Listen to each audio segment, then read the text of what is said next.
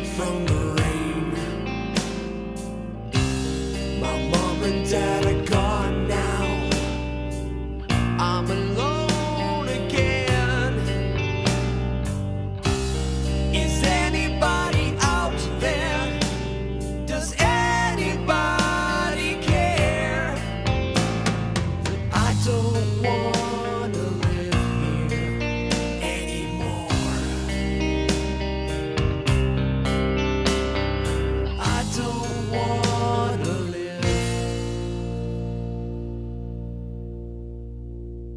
See